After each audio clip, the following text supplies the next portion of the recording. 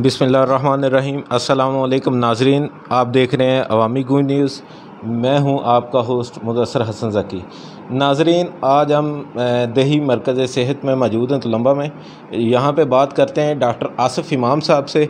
पूछते हैं उनसे कोरोना वैक्सीनेशन सेंटर के हवाले से और कोरोना वैक्सीनेटर के हवाले से कि कितने लोगों को आपने वैक्सीनेट किया है आपका टारगेट क्या था आपने अचीव क्या किया? जी डॉक्टर साहब अस्सलाम वालेकुम। जी डॉक्टर साहब बताएँगे आपके कोरोना वैक्सीन के हवाले से कितने लोगों को आपने मुस्तफ़ किया? हमारे पास जो यहाँ पे कोरोना वैक्सीनेशन सेंटर स्टार्ट हुआ है, ये बाईस पाँच दो हज़ार इक्कीस को स्टार्ट हुआ है। और अगर हम आज तक देखें तो हमने ये एक माह तेरह दिन टोटल हो गए हैं। इसमें हमने चार हज़ार तीन अफराद को आज तक, अभी तक वैक्सीनेट कर चुके हैं। और ये उनमें से जो मेल हैं वो दो हज़ार छः सौ इकसठ हैं और जो फ़ीमेल हैं वो एक हज़ार तीन सौ बयालीस हैं। और अगर हम टोटल तलम्बा की आबादी का देखें उसकी परसेंटेज अगर हम देखें तो वो परसेंटेज के लिहाज से टोटल तलम्बा की आबादी का कोई ग्यारह फ़ीसद अभी तक हम वैक्सीनेट कर चुके हैं अलहमदिल्ला जी डॉक्टर साहब आप बताएँगे कि ये कोरोना वैक्सीन जो आपका टारगेट था वो आपने अचीव किया है? आपका टारगेट क्या था? वो ज़रा बताएँगे। वैक्सीनेशन जो भी वैक्सीनेशन है उसके प्रोटोकॉल्स ये होते हैं कि किसी भी वायरस या किसी भी जो है बैक्टीरिया ऑर्गेनिज्म के अगेंस्ट हमने जो वैक्सीनेशन का हमारा हदफ होता है, वो हार्ड इम्यूनिटी होती है। हमारी मेडिकल लैंग्वेज में एक टर्म यूज़ करते हैं हार्ड इम्यूनिटी उसका मतलब ये होता है कि साठ से सत्तर फ़ीसद अफराद को हम, जो हमारी कम्युनिटी के साठ से सत्तर फ़ीसद अफराद उनको हम जो है ना इम्यूनाइज़ करें, उन्हें वैक्सीनेट करें। जब साठ से सत्तर फ़ीसद अफराद को हम वैक्सीनेट कर चुके होंगे तो उससे हमें एक बंदे से दूसरे बंदे को वायरस लगने के चांसेस बहुत कम हो जाते हैं। यानी हमारा टारगेट है साठ से सत्तर फ़ीसद पॉपुलेशन को वो वैक्सीनेट करना, जबकि अभी तक हमने ग्यारह फ़ीसद वो अचीव किया। जी, डॉक्टर साहब ये बताया जा रहा है कि ये जो कोरोना वैक्सीनेशन सेंटर तुलंबा है, ये असल में मियाँ चन्नू का है। लंबा में प्रॉपर नहीं है। अगर लोग इसकी तरफ़ आगाही नहीं करेंगे लोग अगर ये नहीं लगाएँगे तो सुनने में आ रहा है ये वापस भी जा सकता है। तो इस हवाले से हमें बताएँ कि लोग जो हैं क्यों वैक्सीनेशन वैक्सीनेशन नहीं करवा रहे? ए, क्या मुश्किल का सामना है? कौन सी उन्हें यानी अफवाहें सुनने को आ रही हैं?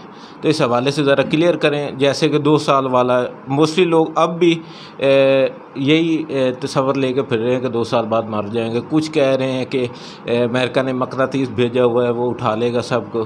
कुछ कह रहे हैं फाइव जी की है, वो टावर्स लगाए जा रहे हैं, उसके वो कर लेंगे। तो इस हवाले से ज़रा क्लियर कर दें अच्छा पहले तो ये है कि कोविड वैक्सीनेशन सेंटर जो है ना ये तमाम आर एस पे ना, इंडिविजुअली वो फंक्शनल फंक्शनल हो चुके हैं। और अब अगर हम कहें कि ये वापस उस तरह चला जाएगा तो इसकी वो कोई हकीकत नहीं है।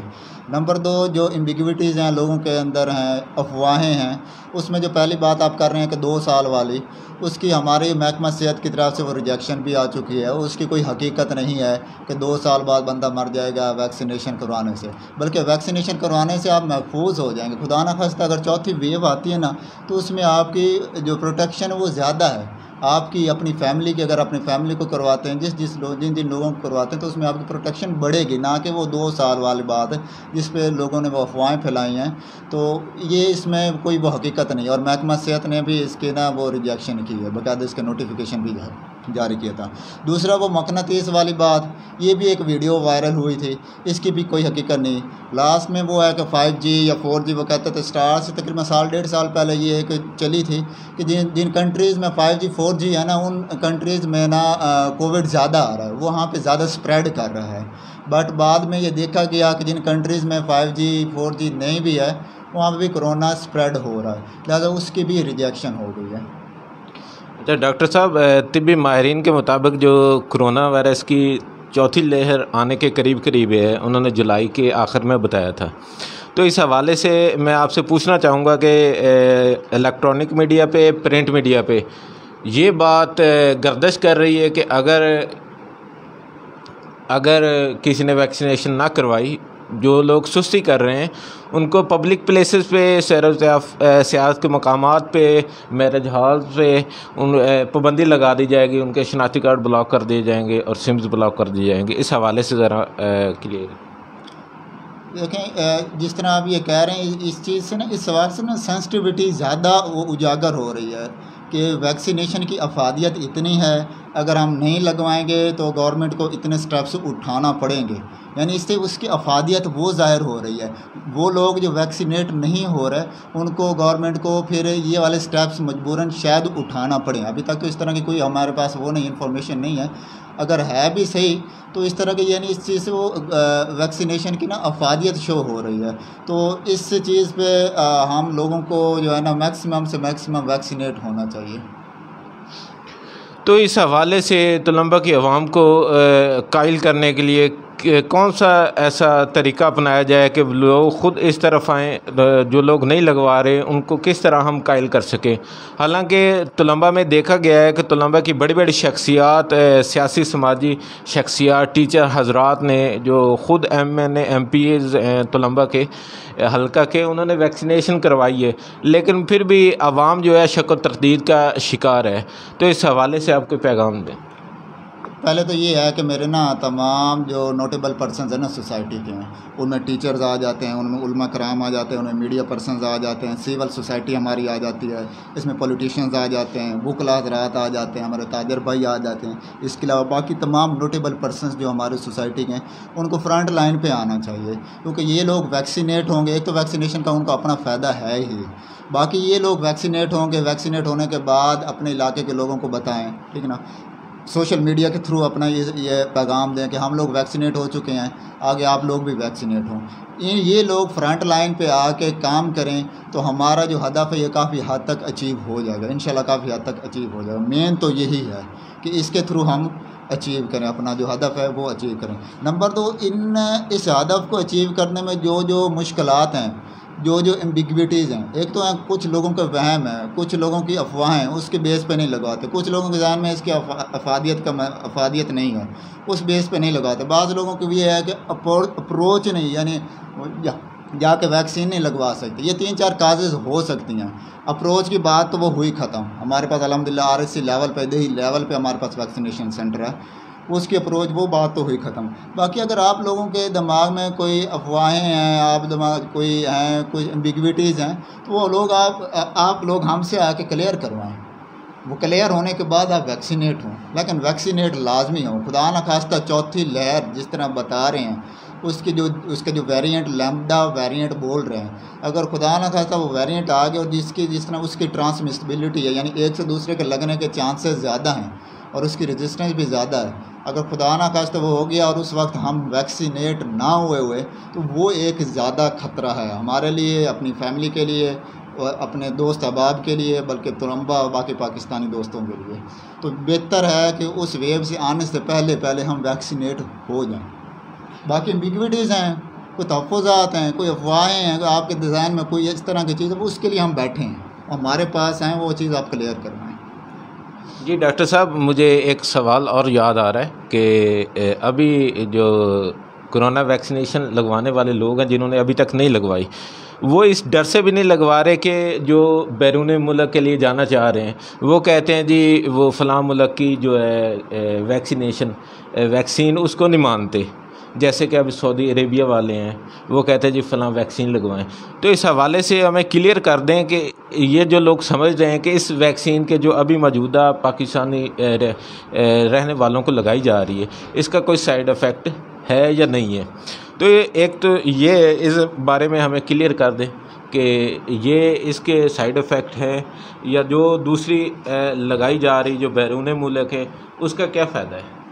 इसमें वैक्सीन जो भी हो ना इवन अगर हम एक कोरोना की वैक्सीन को एक साइड पर रखें, दूसरी वैक्सीन की बात करें, जो हम बच्चों को वैक्सीन लगाते हैं, जो रूटीन की हिफाजती टीका जात, हमारा वैक्सीनेटर घर घर जाकर लगाता है, उसमें जो 11 तरह की वैक्सीन है, जिसमें अब हमने अलहमदिल्ला टाइफाइड की भी शामिल कर लिया है तो 11 तरह की वैक्सीन हम अपने बच्चों को लगा रहे हैं, उसमें से किसी को बुखार होने के चांसेस होते हैं, बल्कि अक्सर बच्चों को किसी न किसी इंजेक्शन से बुखार हो भी जाता है। किसी को दर्द टीके वाली जगह पर दर्द होने के चांसेस, यानी हल्के फुल्के ये साइड इफ़ेक्ट्स हर वैक्सीन के होते हैं। इसी तरह कोरोना की भी है।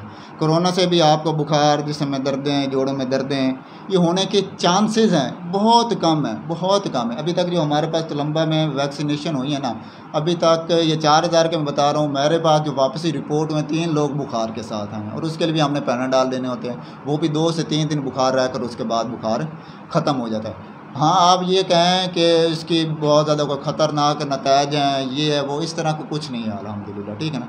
बाकी हल्के फुल्के ये साइड इफ़ेक्ट्स वो भी काफ़ी लोगों में, हज़ारों में, लाखों में किसी एक को बुखार हो गया जिस समय दर्दें हो गई, टीके वाली जगह पर दर्द हो गया तो इसकी चीज़ की हम टेंशन ना लें, देखें अफादियत हमें कितनी हो रही है, हमें फ़ायदा कितना पहुँच रहा है, उस चीज़ की तरफ़ आएँ। नंबर एक, नंबर दो बात है कि बाहर वाले जो ममालिक हैं, जिस तरह आपने सऊदीया का ज़िक्र किया वहाँ पे वैक्सीनेशन के वो कुछ और मांग डिमांड कर रहे हैं। यहाँ पे जो लग रही है वो और है। अच्छा सऊदी वाले जो डिमांड कर रहे हैं वो अस्ट्राजेनिका कर रहे हैं। इस तरह कुछ कंट्रीज़ फाइज़र कर रहे हैं। ठीक है ना? इस तरह डिफरेंट कंट्रीज़ के डिफरेंट हैं। ज़्यादातर क्योंकि पॉपुलेशन पाकिस्तान के सऊदी के लिए कमाने के लिए जाती है या हाज उम्र के लिए जाती है तो ज़्यादातर पाकिस्तानी को इस, इसकी तरफ़ प्रॉब्लम है। उसके लिए अब आ, आ, मसला ये है कि ना सऊदी अरब वालों ने जो चार तरह की वैक्सीन का उन्होंने शेड्यूल दिया ना अब मजबूरी ये है कि वही उन लोगों ने लगवा कर जानी है। वो ही लगवा कर जानी है। उसमें एस्ट्राजेनिका भी है उसमें फाइज़र की वैक्सीन भी है लेकिन मेन उस पर एस्ट्राजेनिका जो है वो है। पहले हमारे पास वो शार्ट हो गई थी। फिर उसके बाद जो है ना मुख्तलिफ़ डिवीजन्स पे डिवीज़न लेवल पे एक एक सेंटर बनाया गया। अब हमारे पास डिवीज़न लेवल पे मुल्तान में छः नंबर चुंगी है कैद आज़म अकेडमी, वहाँ पे उसका सेंटर बनाया गया है, एस्ट्राजेनिका लगवाने के लिए, वहाँ पे जाकर लोग वो लगवा सकते हैं। अब उसकी सिर्फ़ अफादियत ये है कि वो सऊदी अरब वालों ने वो रिक्वायर किया है, ये अफादियत। बाकी अब वहाँ क्या है कि वो वाली सुपीरियर वैक्सीन है जो यहाँ पे लग रही है, इसकी एफिकेसी अच्छी नहीं है तो इसमें वो नहीं है। हाँ एक वैक्सीन से दूसरी वैक्सीन में हल्का फुल्का फ़र्क होता है, एक फ़ीसद, दो फ़ीसद फ़र्क होता है। हमारे पास जो लग रही हैं, जो सैनोविक अब लग रही, पहले सैनोफॉर्म भी लगती रही है। इसके अलावा हमारे पास कैंसिनो भी लगती रही है। एस्ट्राजेनिका भी एक दफ़ा आई थी हमारे पास, ठीक है ना? ये हमारे पास लग, इनमें पाँच, दस फ़ीसद, तीन, चार फ़ीसद एफिकेसी में फ़र्क आ जाता है। लेकिन ये हम ये नहीं कह सकते कि बिल्कुल वो सुपीरियर है जो बाहर के मुल्कों को लगाई जा रही बाहर के मुल्क सॉरी जाने वालों को लगाई जा रही है, जो हम, हमको लगाई जा रही है, उसकी इतनी अफादियत नहीं। इवन हमने खुद भी सैनोफॉर्म लगवाई है। तो इसकी वो उसकी कोई हकीकत नहीं है। अब बाकी ये है कि उन कंट्रीज़ ने ये डिमांड की है, उन ममालिक ने ये डिमांड की है कि ये ये इन इन इन वैक्सीन में से कोई एक वैक्सीन लगी हुई हो। और पाकिस्तान में जो सरकारी तौर पर लगाई जा रही हैं, उन चार जो वैक्सीन की जो लिस्ट है, उसमें से एस्ट्राजेनिका हमारे पास लगाई जा रही है, वो भी अब डिवीज़न लेवल पर उन्होंने स्टार्ट की है। इस वजह से वो है ना जो एस्ट्राजेनिका में डिमांड अच्छा डॉक्टर साहब आपने बहुत अच्छा बयान किया बहुत अच्छा बताया। अच्छा मुझे ये बता दें कि ये जो बैरून मुल्क जाने वाले लोगों को वैक्सीने वैक्सीनेट किया जा रहा है वैक्सीन लगवाई जा रही है ये भी फ्री है या इसकी कोई फ़ीस वगैरह? ये भी फ्री है फ्री है। लेकिन ये क्योंकि डिवीज़न लेवल पे एक सेंटर है ना रश ज़्यादा है रश ज़्यादा है। जी इससे ये यानी आपने ये क्लियर कर दिया कि इसका कोई यानी साइड इफ़ेक्ट नहीं है। ये, वो मुल्क खुद प्रेफर कर रहे हैं। यानी जो भी वैक्सीन वैक्सीन पाकिस्तान में आवाम को लगाई जा रही है आवाम के मफाद में है। तो डॉक्टर साहब, जो तलम्बा वाले लोग हैं, इनको मुख्तलिफ़ वैक्सीन लगवाई गई है। तो बाद लोगों ने एतराज़ किया है कि हमें बुखार हुआ है। तो बाद लोगों ने ख़ुद जाके इस डर से नहीं लगा रहे कि हमें बुखार हो जाएगा या हमें कुछ हो जाएगा। तो डॉक्टर साहब हमें ये बता दें कि आपने ख़ुद भी हदायत में मिलता है कि जिसको दिल की बीमारी हो या मुख्तलिफ़ बीमारियाँ वो आप हमें बताएँ कि जो बीमारियाँ इंसान को हो तो वैक्सीन नहीं लगवानी चाहिए, वो कौन सी बीमारी हैं? अच्छा एक तो बुखार वाली बात देख, बताया ना मैं, चार हज़ार तीन केसेस आज तक हम अलहमदिल्ला वैक्सीनेट कर चुके हैं। उसमें से जो मेरे पास हैं, वो मेरे पास का मतलब ये नहीं कि मेरे पास आए हैं तो बाकी किसी, बाकी डॉक्टर हजरात के पास भी गए होंगे। मेरे पास तो अभी तीन केसेस रिपोर्ट हैं। हो सकता है बाकी डॉक्टर हजरात के पास भी गए होंगे ज़्यादा से ज़्यादा कितने हो गए होंगे? पंद्रह हो गए होंगे, बीस लोग हो गए होंगे। ठीक है ना? इतने हो गए बुखार के। लेकिन बुखार उनका एक दिन रहा, दो दिन रहा, तीन दिन रहा मैक्सिमम तीन चार दिन रहता वो पैनाडाल से अलहमदिल्ला ठीक हो जाएगा। अगर हज़ारों में से किसी तीन, चार या आठ, दस को बुखार हो गया है लेकिन वो वैक्सीनेट हो गया। वो वैक्सीनेट हो गया, ये बड़ी चीज़ है। वो अफादियत आप देखें, अफादियत क्या है? बुखार हो गया, तीन चार दिन गुजार लिए लेकिन आप कोविड के अगेंस्ट वैक्सीनेट हो गए, उसकी अफादियत आप देखें। नंबर दो, आपने कौन सा क्वेश्चन पूछा? मैंने ये पूछा है कि बीमारियाँ कौन सी हैं जिनके दौरान अच्छा अच्छा जिनमें दौरान नहीं लगवा सकते। नंबर एक अगर कोई आपको ना कोई एक्टिव डिज़ीज़ है मसलन बुखार है बुखार चल रहा है मुझे आज बुखार है कल भी बुखार है और बहुत ज़्यादा बुखार है सौ एक सौ एक एक सौ दो पे उस पर आप वैक्सीन नहीं लगाएँगे। जब आपका बुखार उतर जाएगा उस वक्त आप वैक्सीन लगाएँगे। नंबर एक। नंबर दो आपको कोरोना की बीमारी चल रही है। आपको कोरोना हुआ है मुझे कोरोना हुआ है तो कोरोना के दौरान आप जाके वैक्सीन नहीं लगवा सकते। जब कोरोना आपका सेट हो जाएगा ठीक हो जाएगा, बुखार उतर जाएगा और आप सिम्टम लेस हो जाएँगे सिम्टम फ्री हो जाएँगे। आपकी अलामत ख़त्म हो जाएँगी। मसलन आपको बुखार था, खांसी, नज़ला, ज़ुकाम था, वो आप ठीक हो गए और कोरोना का आपका आइसोलेशन का पीरियड मुकम्मल हो गया, उसके बाद जाके आप वैक्सीनेशन लगवा सकते हैं। और वो अफराद, कोरोना के वो अफराद जिनको कोरोना हुआ और साथ में उनके डॉक्टर ने उनको स्टीराइड भी लिख कर दिए वो वेट करेंगे। जब उनके स्टीराइड ख़त्म हो जाएँगे, ख़त्म होने के 28 दिन बाद वो वैक्सीन लगाएँगे इसके अलावा, वो लोग जिनकी कोई पुरानी बीमारी चल रही है उनमें, उनकी वजह से उनकी कुत मुदाफ़त कम है। मसलन वो लोग जो कैंसर वाले मरीज़ हैं, वो लोग जो स्टीराइड ले रहे हैं, ठीक है ना? वो लोग जिनकी शुआएँ चल रही हैं, कैंसर की चल रही हैं, वो लोग जिनकी कीमोथेरापी वगैरह चल रही है, या वो लोग जिनकी कुत मुदाफ़त बहुत कम है किसी पुरानी बीमारी की वजह से तो वो डॉक्टर के मशरे के बगैर वैक्सीन ना लगाएँ। उसके लिए अलहदा से फाइज़र की वैक्सीन गवर्नमेंट ने स्टार्ट की है और हमारे डिवीज़न लेवल पे वो स्टार्ट हुई है। निश्तर हॉस्पिटल मुल्तान में भी फाइज़र का वो सेंटर बन गया है। इन अफराद के लिए अलहदा से बनाया गया है। जिन अफराद का मैंने बताया ये वैक्सीन ये वाली जो यूज़ नहीं कर सकते। कौन सी वैक्सीन यूज़ नहीं कर सकते? ये जो रूटीन के हम लगा रहे हैं ना उसमें वो लोग जिनके कोई ट्रांसप्लांट का मसला है किसी को कैंसर का मसला है कोई शुआएँ किसी को कैंसर की लग रही हैं कैंसर की कोई दवाई इस्तेमाल कर रहा है जिसकी कुत मुदाफ़त बहुत कम है वो डॉक्टर ने डिक्लेयर की हुई है, जिसकी लंबी बीमारी है जिसमें गुर्दे की लंबी बीमारी है, और बहुत ज़्यादा शदीद बीमारी डॉक्टर ने डिक्लेयर की हुई है, ठीक है ना? इस तरह के ये वो लोग हैं, जिनकी कुत मुदाफ़त बहुत ज़्यादा कम होती है। उनमें ये जो रूटीन की हम वैक्सीन लगा रहे हैं, उनमें ये नहीं लगती, उनमें अलहदा से गौर वो वैक्सीन है, वो लगाते हैं। वो फाइज़र की वैक्सीन है वो डिवीज़न लेवल पे हमारे पास मुल्तान में उसका सेंटर बना हुआ है और निश्तर में आप जाके वहाँ पर लगवा सकते हैं अच्छा डॉक्टर साहब मुझे ये भी बता दें कि अगर ए, कोई बंदा आता है उसे बुखार होता है लेकिन क्योंकि यहाँ पे पूछा जाता है वैक्सीनेशन करने से पहले पूछा जाता है कि भाई आपको बुखार तो नहीं है लेकिन कोई झूठ बोलता है वो बताता है कि मुझे बुखार नहीं है हालाँकि उसे बुखार हो। तो इसका साइड इफ़ेक्ट क्या होगा? ये भी ज़रा आवाम को हमारे नाजरीन जो देख रहे हैं उसको बता दें क्या साइड इफ़ेक्ट देखें और तो कोई साइड इफ़ेक्ट नहीं है। बुखार है और हमने वैक्सीन लगा दी है। तो वैक्सीन के लगने के बाद अगर बुखार हुआ है तो हमें फ़र्क का पता नहीं चलेगा। आया कि ये पिछला पुराना बुखार था आया कि ये नया बुखार। एक दो केसेस इस तरह के भी रिपोर्ट हुए हैं। ठीक है ना? वो एक आधा दिन बुखार से, उनका उतर गया, उन्होंने आके वैक्सीन लगाई, बुखार पिछला चल रहा था, उन्होंने कहा वैक्सीन की वजह से बुखार हो गया। फिर हमें फ़र्क करने में वो मसला होता है। अब फ़र्क करने में अगर मसला हो रहा है तो आगे नुकसान क्या होने के चांसेस हैं? मतलब मरीज़ को पहले बुखार था बुखार था उसे टाइफाइड की वजह से, उसने बताया नहीं आया कि वैक्सीन लगवा ली है। बुखार उसको उसी तरह जारी रहा, हमने समझा वैक्सीन लगाई है, वैक्सीन की वजह से बुखार हो रहा है, ठीक है? और था उसको टाइफाइड की वजह से, हमने अगर वैक्सीन की वजह से कंसीडर करके, हमने तो देनी है सिर्फ़ पैनाडाल तो वैक्सीन की वजह से तीन से चार दिन में पैनाडॉल उतर जाएगा। लेकिन अगर था टाइफाइड की वजह से उसने बताया नहीं तो टाइफाइड की एक अलहदा ट्रीटमेंट चलनी थी। था मलेरिया की वजह से मलेरिया की एक अलहदा ट्रीटमेंट चलनी थी। उसमें मरीज़ का फिर अपना नुकसान है। इस वजह से हम जो है ना फीवर में जो है ना वैक्सीन नहीं लगवाते, ताकि हमें पता चल सके कि बीमारी पिछली किसी और वजह से है या इस वजह से बुखार हो रहा है। जब वो सिम्टम लेस हो जाएगा तो उसके बाद हम वो करवाएँगे वैक्सीनेट करवाएँगे। जी नाजरीन डॉक्टर साहब का शुक्रिया अदा करते हैं कि उन्होंने वक्त किया। जी जी ज़रूर ज़रूर। शेयर करना चाहूँगा। अच्छा एक तो मेरी रिक्वेस्ट है तमाम तलम्बा के अफराद से स्पेशली जो नोटेबल पर्सन हैं कि आप लोग फ्रंट लाइन पे हैं सोशल मीडिया के थ्रू फेसबुक के थ्रू व्हाट्सएप के थ्रू। या जिस जो भी मीडियम आप बेहतर समझते हैं उसके थ्रू आके आप खुद भी वैक्सीनेट होकर लोगों को तरकीब दिलवाएँ। आप लोगों की तरगीब दिलाने से ज़्यादा से ज़्यादा लोग वैक्सीनेट होंगे। और जो हमारे पास जो फोर्थ लेयर है चौथी लेयर का एक खदशा है अगर खुदा ना खास्ता आती है तो उससे हम निबट सकें। एक मेरी ये रिक्वेस्ट है। नंबर दो कुछ चीज़ें हैं वो बताना चाहता हूँ मैं।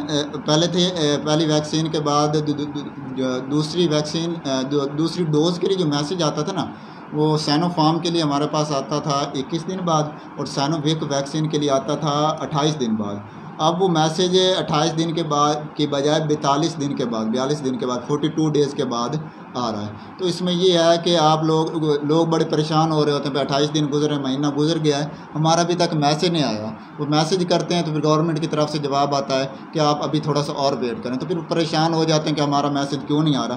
तो तमाम लोगों को मैं ये इन्फॉर्म करना चाहता हूँ कि अब ये मैसेज ना फोर्टी टू डेज़ के बाद आ रहा है। तो इसमें वो परेशानी वाली बात नहीं। नंबर एक। नंबर दो, जब स्टार्ट में हम वैक्सीनेशन सेंटर हमने स्टार्ट किया था तो जुमा की छुट्टी होती थी हमारे पास। बल, पूरे पाकिस्तान में जुमा की छुट्टी होती थी। अब छुट्टी, इतवार की छुट्टी होती है और जुमा का वैक्सीनेशन हमारा सेंटर खुला होता है। उसका ये होता है कि लोग जुमे जो है ना, इतवार को आते रहते हैं, छुट्टी होती है, उस वजह से लोगों को ना प्रॉब्लम आने में वो मसला होता है। नंबर थ्री, जो मैंने फाइज़र की वैक्सीन का बताया जो मुल्तान में लग रही है फाइज़र की वैक्सीन, ये वो लोग लगवा सकते हैं जिन्होंने बाहर के मुल्क जाना है, ठीक है ना? या जिसको पुरानी बीमारी चल रही है, जिसकी कुत मुदाफ़त काम है, या कैंसर के मरीज़ वो लगवा सकते हैं। और जिन्होंने बाहर के मुल्क जाना है और 26 जुलाई से पहले पहले जाना है, जिन्होंने बाहर के मुल्क जाना है और छब्बीस जुलाई से पहले पहले जाना है तो वो जाकर फाइज़र की वैक्सीन वहाँ से निश्तर हॉस्पिटल मुल्तान से लगवाएँगे, अपना जो है ना, अपना तमाम वो डाटा लेकर ले जाकर वहाँ जाकर ना वो वैक्सीन लगवाएँगे। अच्छा इसके अलावा हाँ एक और चीज़ है कि लोग समझते हैं कि वैक्सीन लगवा ली, उसके बाद मास्क नहीं पहनना, सोशल डिस्टेंस नहीं रखना रखना, ये बड़ी चीज़ों लोगों में देखने आ, देखने में आ रही उसमें ये है कि अगर आप वैक्सीनेट हो गए ना तो इसके बाद जो वैक्सीन के बाद ना कुत मुदाफ़त को लग जाते, तीन से चार हफ़्ते लग जाते तो मेरी तमाम लोगों से रिक्वेस्ट है कि वैक्सीन लगवाने के बाद, फ़र्स्ट डोज लगवाने के बाद तीन से चार हफ़्ते आप फिर भी मास्क लगा कर रखें और समाजी फासला बरकरार रखें। इसके अलावा फिर भी एंड में फिर मैं वही कहूँगा, अगर वैक्सीन के हवाले से आपके जहन में कोई खदशात हैं तो आज आप आके हमसे वो क्लैरिफाई करवाएँ, ठीक है ना? जो आपके खदशात हैं वो हम दूर करेंगे। लेकिन वैक्सीनेट आप लाजमी हों और अपने फैमिली मेंबर्स और कम्यूनिटी के अफराद को लाजमी वैक्सीनेट करवाएँ।